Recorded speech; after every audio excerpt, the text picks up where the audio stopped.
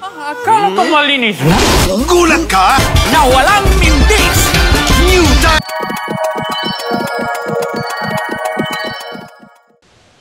ang laman, ang katawan, ang kababawan, lahat ng pagpapasasa sa laman na naglalayo sa atin sa mga bagay na espiritual. Mabuti naman na wala siya dito.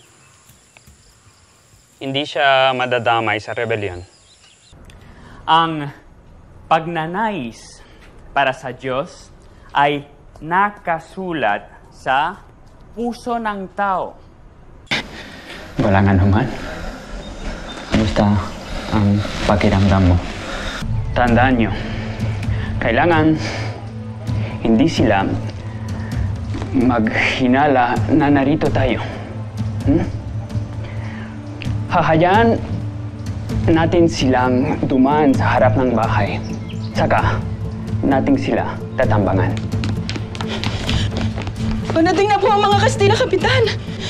Maghihintay tayo. Tiyakin nyo na walang sila makikita. Huwag kayong lalabas! Lahat ng may baril, buksan ang mga bintana. Paputukan ang mga Kastila. Ang mga walang baril ay tumagas na. Paano kayo, Teniente? Lumapang kayo palabas. Teniente! Vamos! Kamusta po ang mama? Napakadalas po.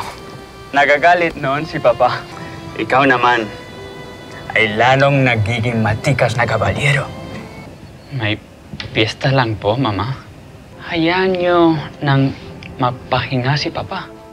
Napagod siya sa trabaho.